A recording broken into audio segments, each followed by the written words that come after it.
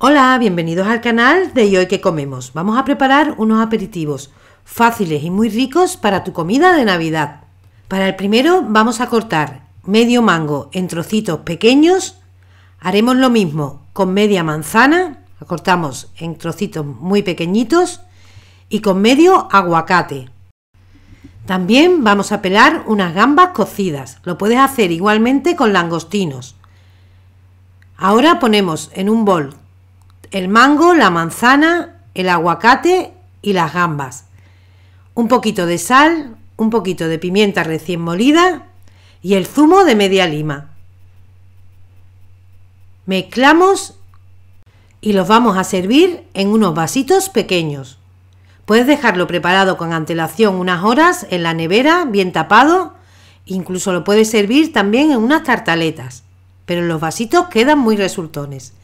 Para el siguiente vamos a poner en una trituradora medio aguacate, unos tomates cherries, perejil fresco, un poquito de sal y de pimienta, el zumo de media lima o de medio limón y lo vamos a triturar bien. Con esta crema vamos a preparar unos panecillos. Cortamos el pan en rodajas, un pan que sea de baguette va muy bien y lo vamos a tostar unos minutos, o bien en la freidora de aire o en un tostador. Una vez que ya lo tenemos, Untamos cada panecillo con nuestra crema de aguacate y encima le vamos a poner bacalao ahumado. Lo puedes hacer también con salmón ahumado, queda muy rico. Y por último a este aperitivo le vamos a poner unos brotes verdes. Para la tercera idea que os voy a dejar vamos a cortar unos rabanitos en tiritas finas. Cortamos en trocitos también unas rodajas de pulpo cocido de pulpo en conserva lo ponemos en un recipiente, en un plato, junto con carne de cangrejo, que la puedes encontrar en conserva en muchos supermercados. Una cucharada sopera de salsa rosa o de mayonesa, lo que prefieras, mezclamos y ahora lo vamos a montar también en unos vasitos. En el fondo ponemos lechuga muy picadita, nuestra ensalada de mar y terminamos con unas huevas de trucha o huevas de salmón. Un aperitivo con un sabor espectacular. Y para el último vamos a preparar un crujiente de jamón muy rápido y muy fácil.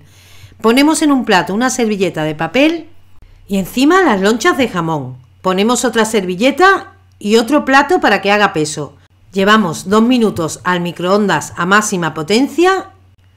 Lo sacamos con cuidado de no quemarnos y lo vamos a cortar en trocitos pequeños. Ya tendríamos nuestro crujiente. Ahora vamos a cortar unas tiras de queso brie y lo vamos a poner sobre una de las rebanadas de pan que hemos cortado al principio. Solo tienes que meterlo en el horno unos minutos o en este caso en la freidora de aire. Cuando empieza el pan a coger un poquito de color lo sacamos y le ponemos por encima el crujiente de jamón. Es muy fácil y está muy rico. Espero que te hayan gustado estas cuatro ideas de aperitivos que te he traído para tu mesa de Navidad. Darte como siempre las gracias por estar ahí y seguir mis vídeos y recordarte que puedes suscribirte a nuestro canal de YouTube si es que aún no lo has hecho. Nos vemos muy pronto en la siguiente receta. ¡Hasta luego!